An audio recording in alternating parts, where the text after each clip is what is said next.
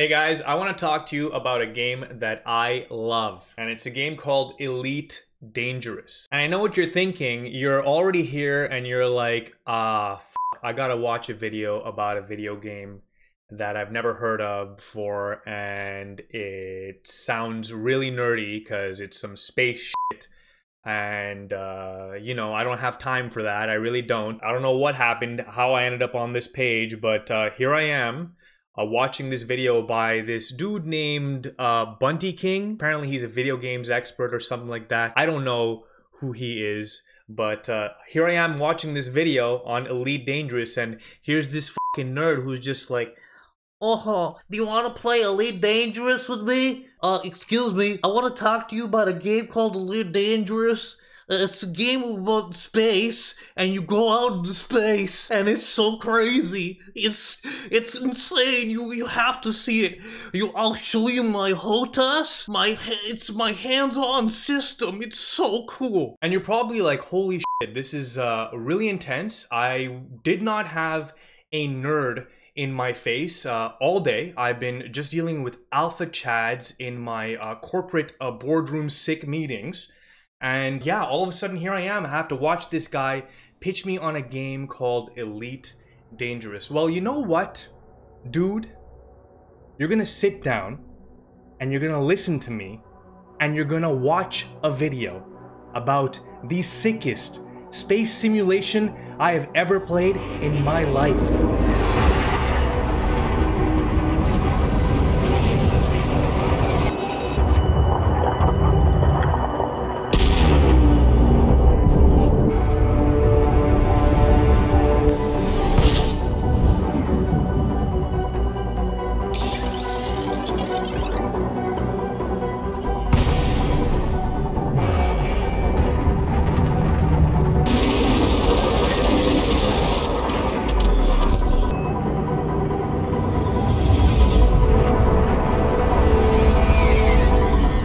First time I heard about Elite Dangerous, I was like, Elite Dangerous? What a dumb name. and I feel so bad saying that now because I love this game and like obviously it's a story that I wouldn't probably lead with if I was ever talking to the developers like hey by the way I thought your your name was dumb Elite Dangerous what a fucking nerd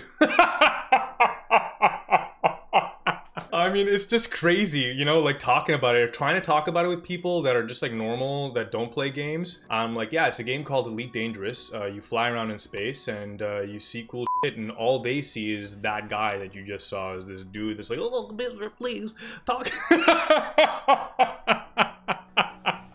so crazy. It's a hard game to pitch people on. It really, really is. But look, guys, this is a beautiful, breathtaking space simulation that I can find myself losing hours in. And uh, it's one that I want to talk about on this channel. But before I do, I wanted to kind of make sure that you guys had a bit of an introductory piece on it so that you could watch something a little light and uh, figure out if it's a game uh, you feel is worth investing in. And if there's one thing that I absolutely do love doing, it's definitely pitching people on the games that I love because I don't want to just enjoy them alone. I want to enjoy them with people. This is a sick game, and I want other people to play this sick game with me. Essentially, if I value something, I want to share it with people. And let me tell you something Elite Dangerous is a game that I truly do value. It's just a mesmerizing experience, no matter what path you choose to take. The only thing you'll have to get past is the learning curve, which is incredibly steep. Uh, and it's not just a game that you can pick up and play uh, in two hours and just be doing whatever you want to do. It requires a time investment that is higher than most games. Even at 200 hours, I'm still learning things about the game because it's just that deep of a game. get a load of this guy. It only took me 75 hours to get good at the game. he sucks. The thing is, 200 hours is just a drop in the pond when compared to the average core Elite player's game time. Anyone that's playing Elite Dangerous right now at a higher level has at least a thousand hours. You know, I'm the uh, outlier, only 200 hours, and I'm the best. But the general rule is a thousand hours, at least. I think.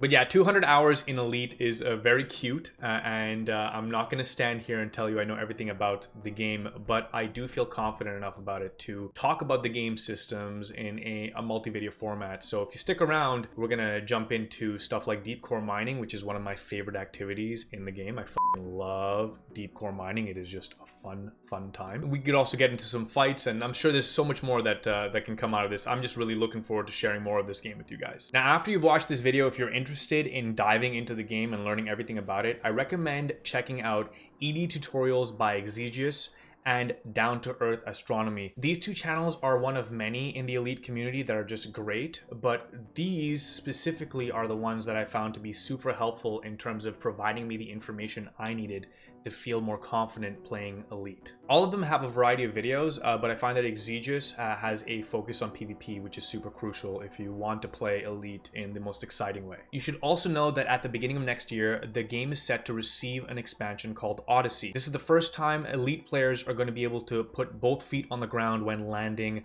on planets or stations. Uh, so it's really going to expand the combat and exploration aspects of the game. And uh, I'm telling you, right now is the perfect time to get into Elite Dangerous. As mentioned earlier, Elite Dangerous is a space sim and it's an old established IP in the genre. I mean, the first game came out in 1984, so we're looking at over three decades of Elite being around and that is very cool to see. I just love seeing developers care enough about their IPs to invest over three decades worth of time in them and show no signs of stopping. What really sets Elite Dangerous apart from other titles in the genre like Star Citizen or EVE Online is that it is a one-to-one recreation of our galaxy. What that means is you can go anywhere in the galaxy. All you have to do is pick a system, plot a route, and the rest is up to you. Most players tend to stick around the bubble, which is a term for the player inhabited area where all the factions are present and all kinds of crazy shit can happen. For example, one time I was playing on stream and I had just mined a whole bunch of low temperature diamonds. My cargo hold was full of them. These are essentially just really expensive space rocks that got me to my first billion credits in game. By the way, you'll learn that mining is the fastest fastest way to make money in Elite, and I'll talk a little bit more about it later on in this video. Anyway, cargo hold is full of these diamonds, and I was gonna drop them off at a station for a mill a pop. I'm telling you, man, the money was right there. I saw it, I saw it, and I got intercepted by another player who was a fucking pirate, and this guy stole a substantial amount from my fucking cargo hold. I had to settle for less because of this fucking rat pirate. Crazy. Prior to Elite Dangerous, I had never been robbed in a game before, so that was a really cool experience, getting robbed in a game. Now, I know that some people would hate this experience. They'd be like, oh my god, I don't ever have to deal with that. I just want to, like, do my thing and then just, like, not have to worry about anybody else. Which is why I have options for open play, private play, and solo play. Which all kind of sound sexual, but there's nothing sexual about space. In fact, you will also learn that you have to reattain virginity to play this game. In open, you can run into anybody. In private, you can only run into the people that you choose to play with. And in solo, you're all alone. So essentially, you can just completely avoid experiences like my own, uh, where someone told me they were going to murder me unless I gave them a significant portion of my haul. Also, the economy and galaxy remain persistent across different forms of play, so you don't have to worry about missing out if you're playing private or solo. But look, don't be a baby and just jump into open. Just do it. Just just do it. Trust me, just do it. You think I didn't write that pirate's name down? You think I'm not going to absolutely space this dude in my Krait Mark II? Do you think that I haven't been plotting his death on my pilgrimage to the galactic center? The truth is I completely forgot his name because I'm a billionaire now and I don't care if some peasant stole from me. He's probably still depressed and floating around in space looking to rob more honorable workers like me. Okay, but guys, for real, this game is beautiful and amazing and I love everything about it. From warping into a new system to dropping into an asteroid belt to popping open an asteroid to docking in a busy station to evading pirates to scanning an undiscovered Earth-like world in the middle of deep space to barely missing a planet while traveling at speeds faster than you can imagine, all of it is amazing and sounds amazing.